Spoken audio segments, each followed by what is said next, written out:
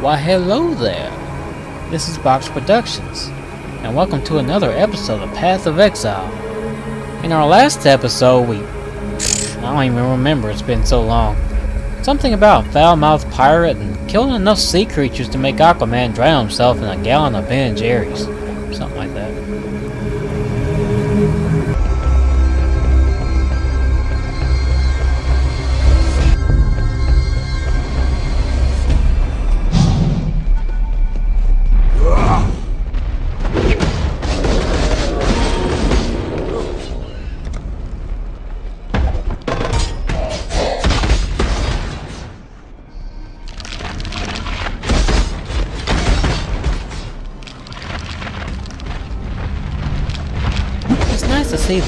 Impending end of the world hasn't affected the animal population around here.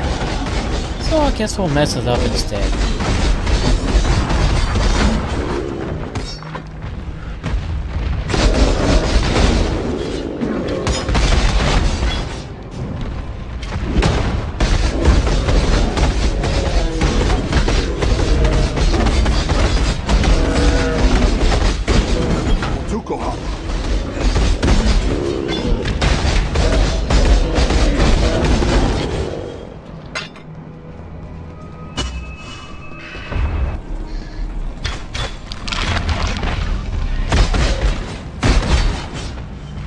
And after a little bit of searching around and more than a little bit of murder, we find the locket we were looking for. Now all we have to do is give it back to its rightful owner. Or at least I'm assuming the rightful owner. I mean, he is a pirate, so you never know.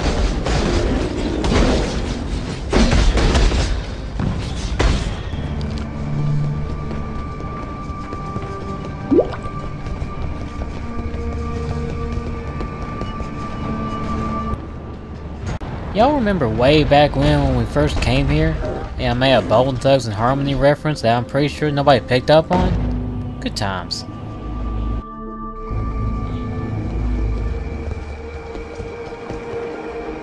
Me locket! Oh, me darling, me beautiful Meredith. How I miss your shuddering bosoms, your quivering thighs. She had a heart to melt an iceberg, and teats the size of a. Ooh. Well, anyway, I, I thank you greatly. Please, whatever else be in that lockbox, take your pick from it. This locket be the only treasure I need.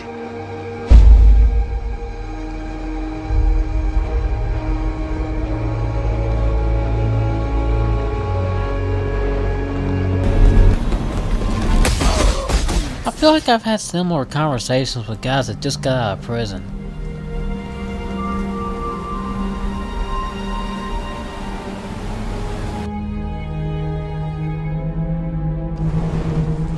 It was a quick conversation that I missed, where we were asked to come back here and retrieve a map.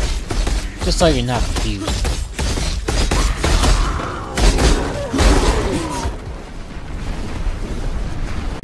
Sometimes I wonder, with all the undead we've seen throughout our adventure here, I wonder if we fought the same ones several times. Like they could be walking around minding their own business, and right after they've been raised from the dead once again, the upteenth time or whatever, they see us coming and they just sigh themselves. They know what's about to happen.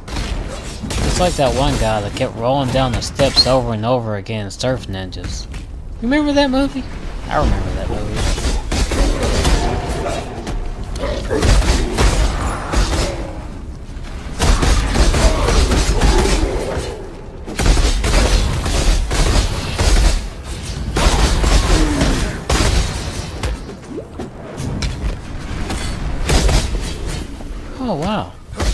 Actually haven't seen too many cars this playthrough. Been kinda unlucky about that.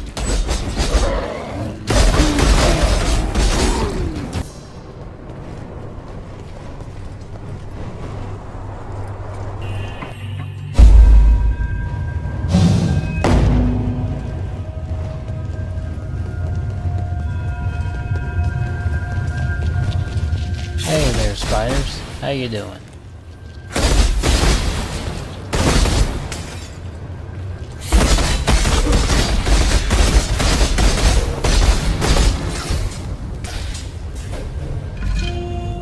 Look at that. We found the entrance to the next level, which we will not be using right now. We have things to do first.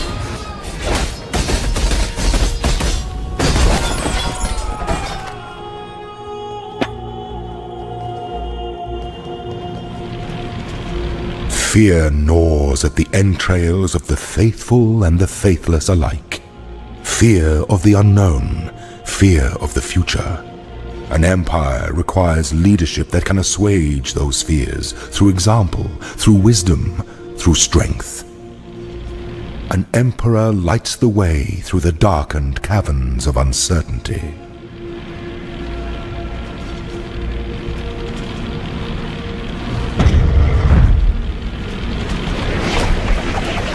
Another day, another trial. I'm sure we all remember the deadly coat hangers of discomfort.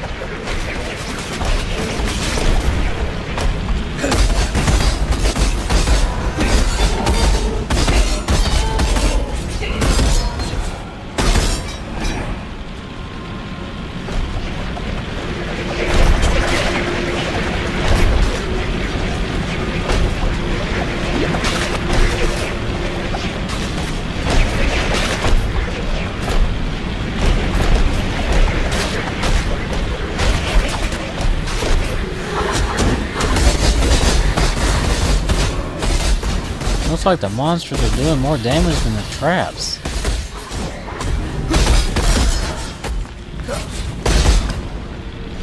Shine boldly so that all may find you when the night falls.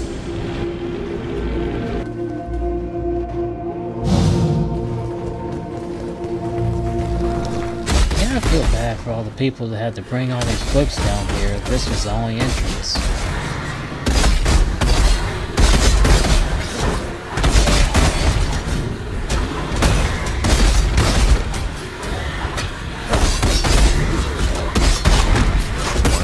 Gone.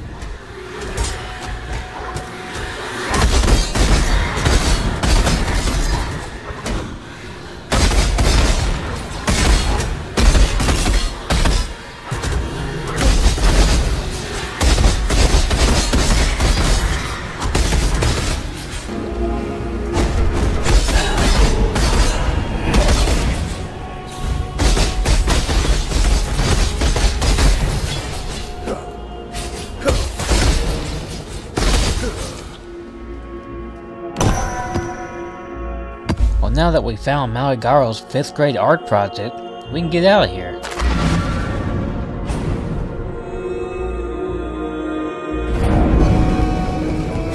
I imagine it was no easy feat, removing that abomination from its tomb. The horrors that must still lurk beneath the fell shrine. Well, I suppose you'll be meeting abominations aplenty where you're going next. Place that map upon Maligaro's reverie device, and remember, hope for the worst. At least then you'll be partially prepared for what's to come. And wouldn't you know it, this pathway is blocked as well. Maybe somebody's planning a surprise birthday party for me, and they all want me coming in beforehand. That'd be cool. When I was part of Piety's expedition into the Chamber of Sins, I stumbled upon a secret passage. It appears to have been constructed by the Inquisitor for the purpose of conveying his creations from his laboratory via an ancient cave system to the surrounding countryside without detection. These caves seem to feed out into what was once farmland near our former village.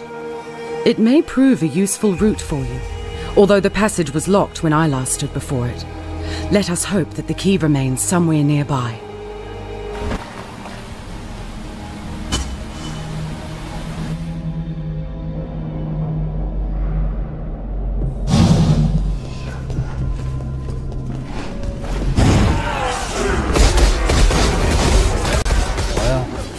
This place hasn't changed.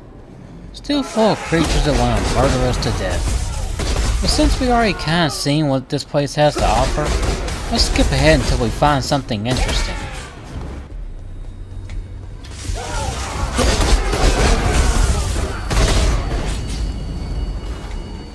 Hello to you, great dreamer.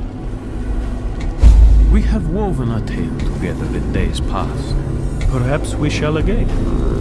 We make mighty stories, you and now I have daunting task before me, the last in my great journey. Near to us, cast in shadow, a monster awaits. Is his name. A beauteous eight-leg, twisted grotesque by the master of these loathsome halls.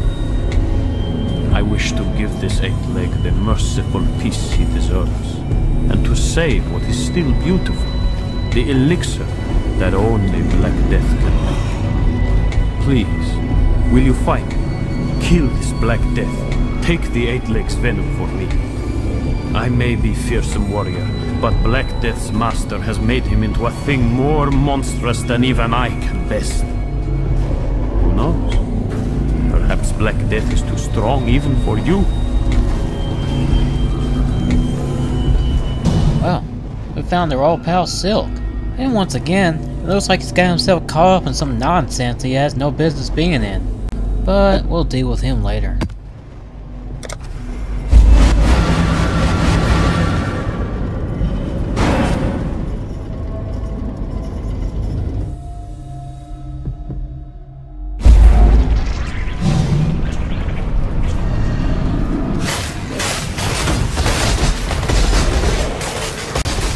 If it's more disturbing or neat that he made this out of his own viscera.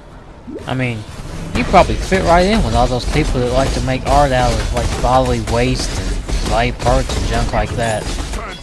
Assuming he doesn't try to kill all of them, which he probably would.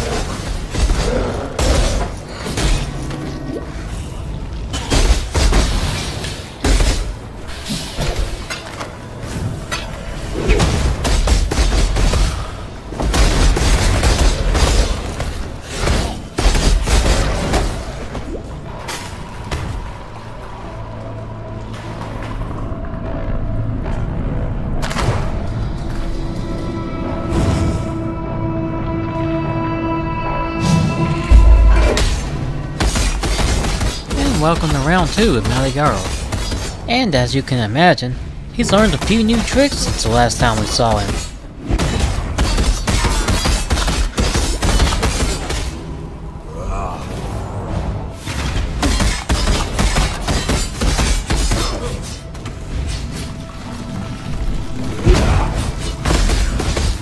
And it should come as no surprise that Maligaro has control of the Black Death that Silk was talking about which adds a little extra difficulty to this fight.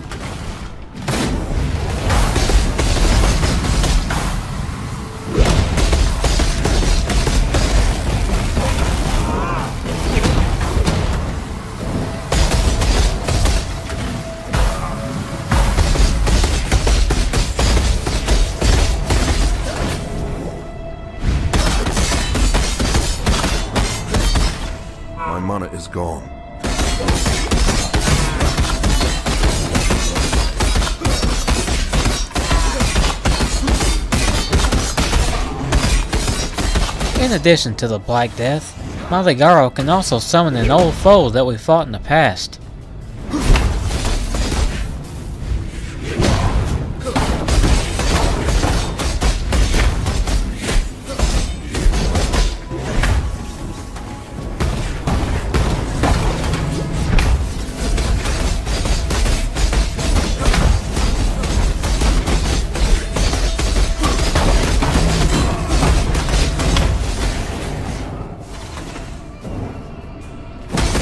Even after you kill both of his companions, he still has a couple of tricks up his sleeve to keep you on your toes.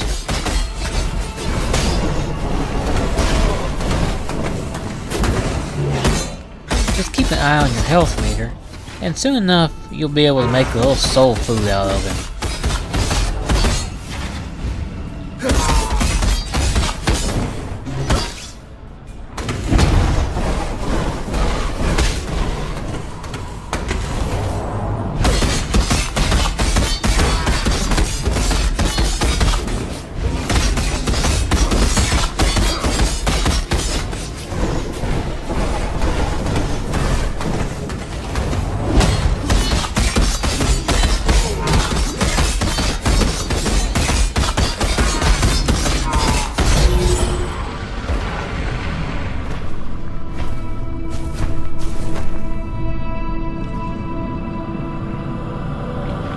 Brutal construction nears completion, and now only the wretched Doedre Darktongue remains.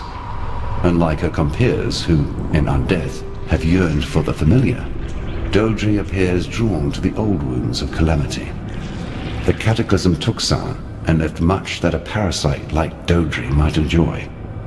I shall meet you in Sarn, where I hope you shall make swift and bloody work of that foul hag.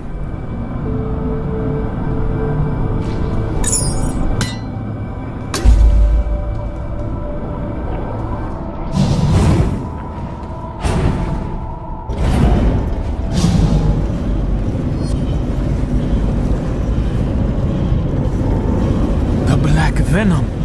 O great dreamer who has done great deeds.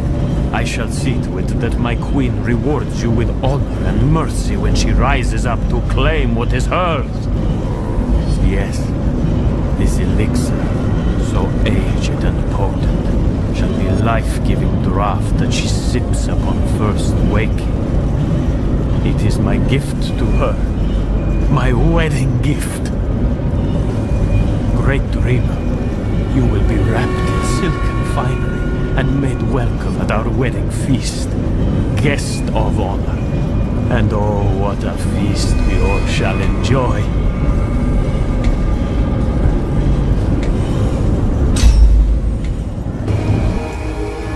What? He's intending to make matrimony with Arakaali? My word, that's quite a story even for Silk. Yes, I know that name, and the place to which it is purportedly attached. A temple to the north, now in ruins.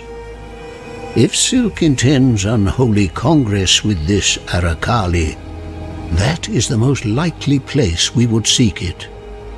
Unfortunately, Arakaali's temple lies beyond that which now belongs to Ralakesh.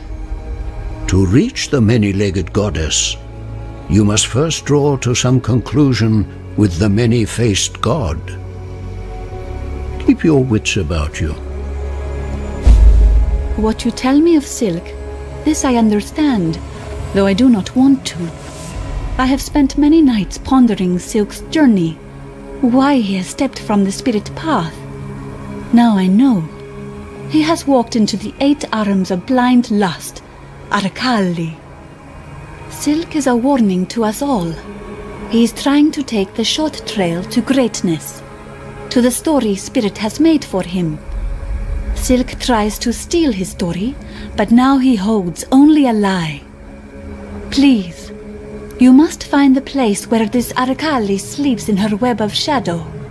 You must stop Silk before he wakes her, a mistake that we all will come to regret. The Spirit tells me this is so. One less twisted intellect perverting our world.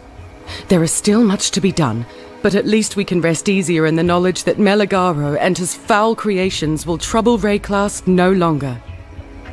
Here. I know that you and Greust didn't see eye to eye, but I'm sure he would have wanted to recognize this deed. It's the act of a warrior, after all.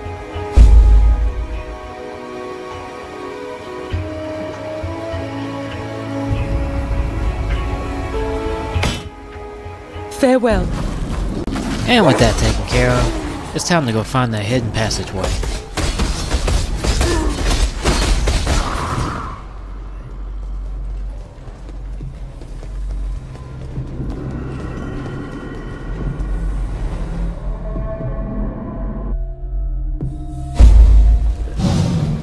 It's kind of tough watching Silk make a full album, mm-hmm. so you know what I mean. I mean, we've all had that friend that meets someone, they go on about how amazing this person is and all that. And then after a while they start spending less and less time with you. And the little time they do spend with you is only because they're allowed to. All the while you're just thinking to yourself, hopefully they get out of this web they've been caught up in. But seriously though, dude's finna wife a giant spider, and that's no good.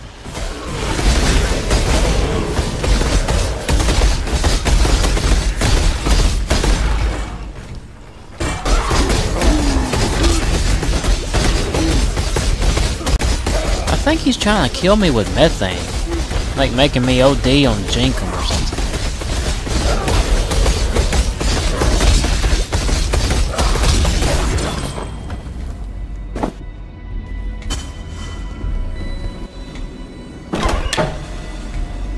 The path to justice is slender and perfidious, fraught with missteps of ambition and despair, egotism and doubt. Should you choose this road, beware those who would waylay your hopes and disembowel your dreams. Remain sure and remain true.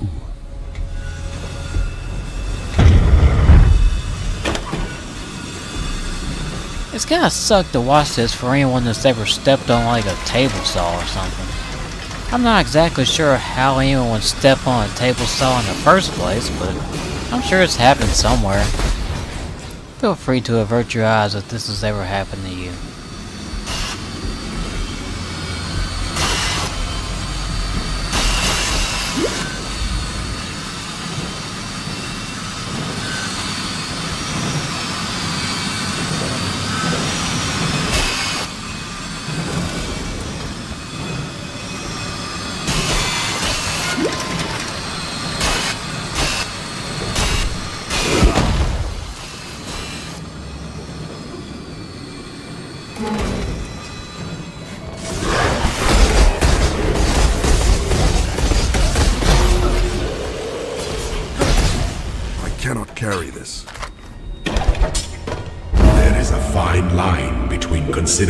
And hesitation.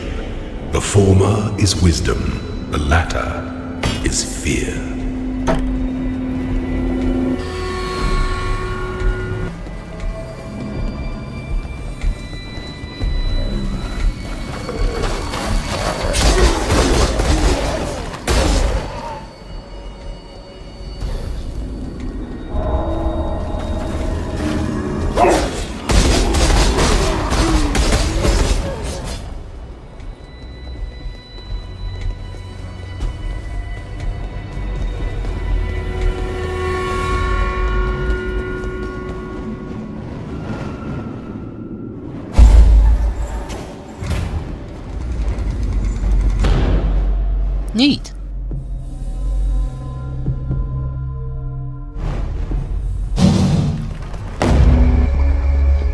That'll do it for this episode of Path of Exile, and I hope you enjoyed it. If you did, leave a like and comment, subscribe, and all that good stuff. It really helps out the channel. This has been JPax, aka Box Productions, and I'll see you next time.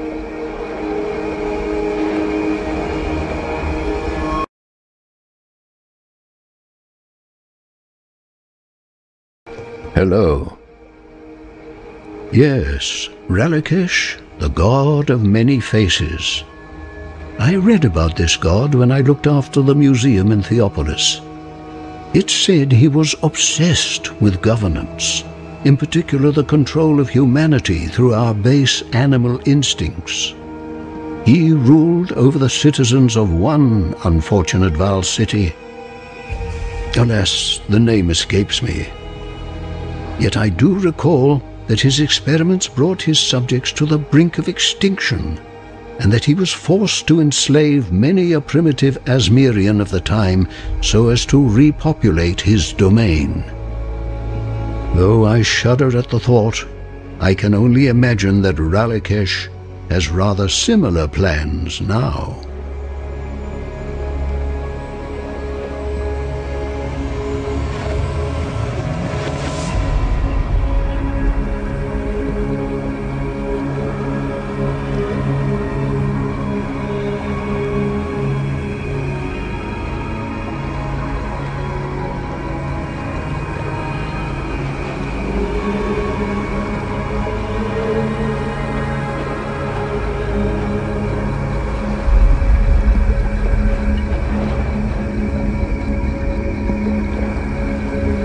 A fascinating case that flies in the face of all that is natural. Weylam is undead for sure.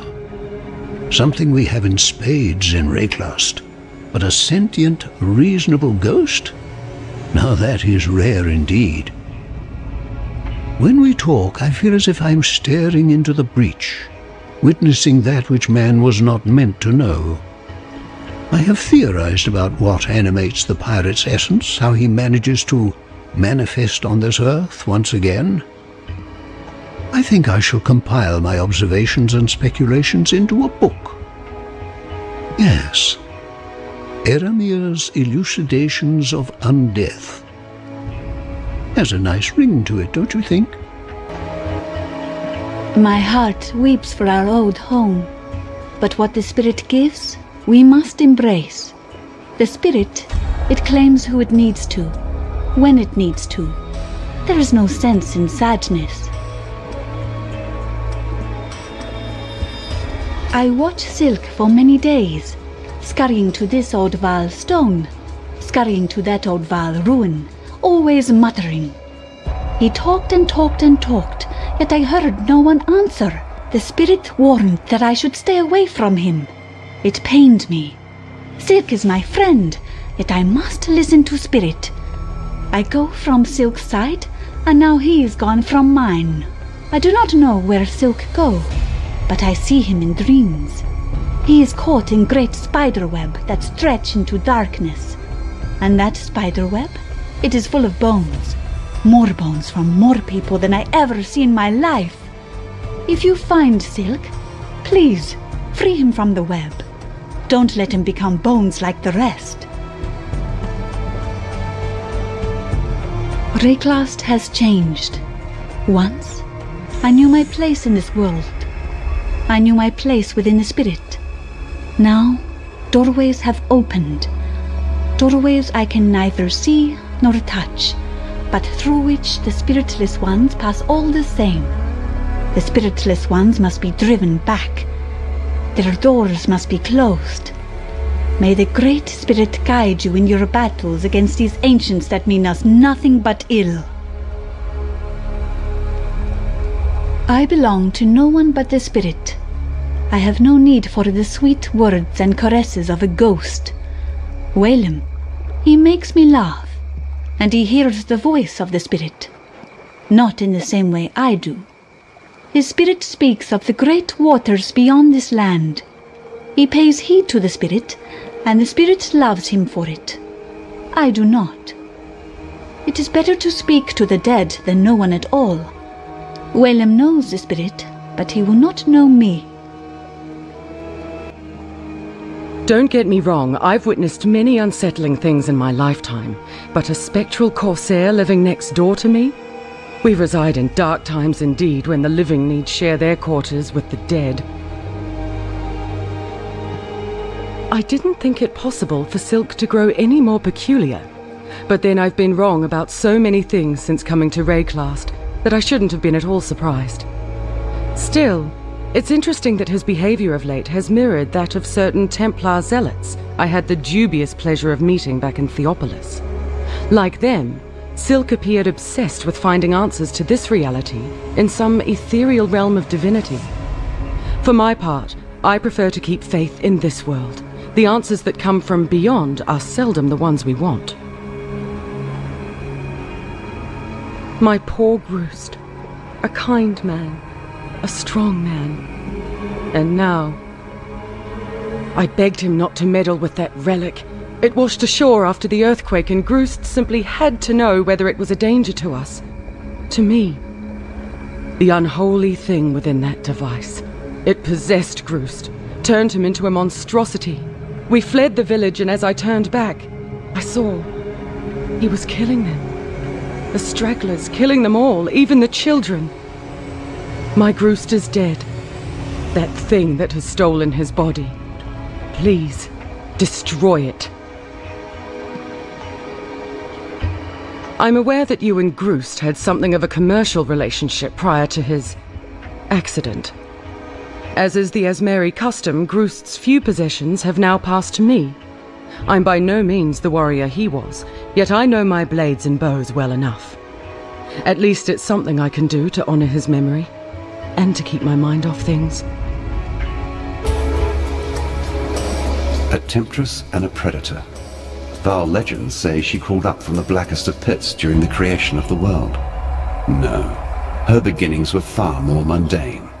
a mortal harlot whose endless lust for loin and lecherous delight saw her transformed into the very image of her dark desires. The Spinner of Shadows, they once called her.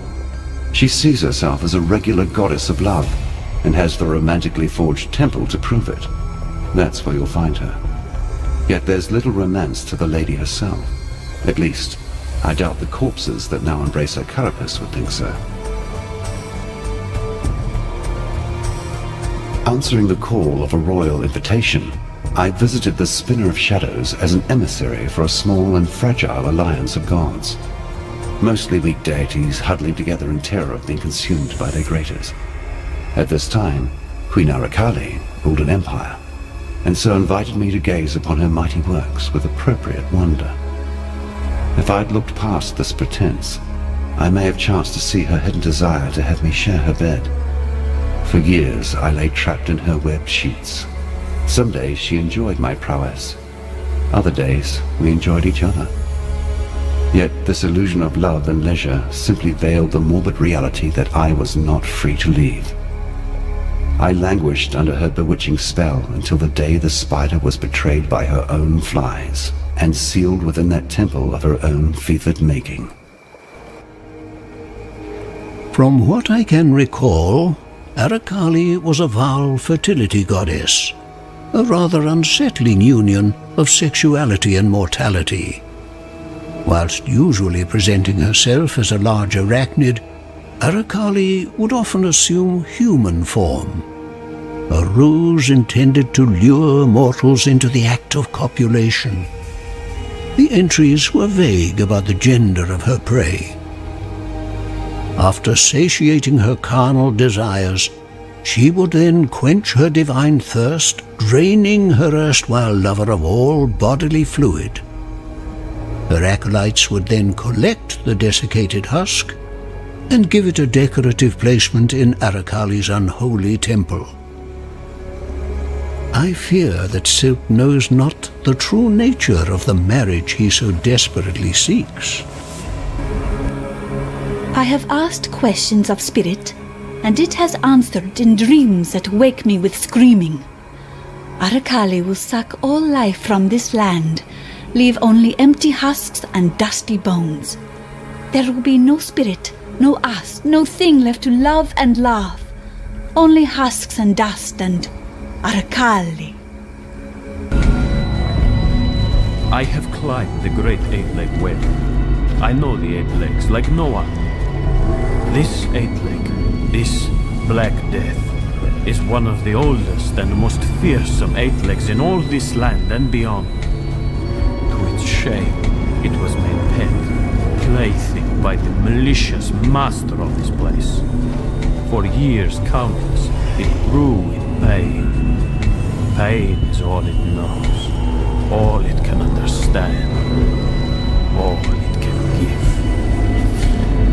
End Black Death's pain, for all at once. My great journey led me places of great power beyond even your stories, great dreamer. I am carried on legs and webs and shadows. That is all.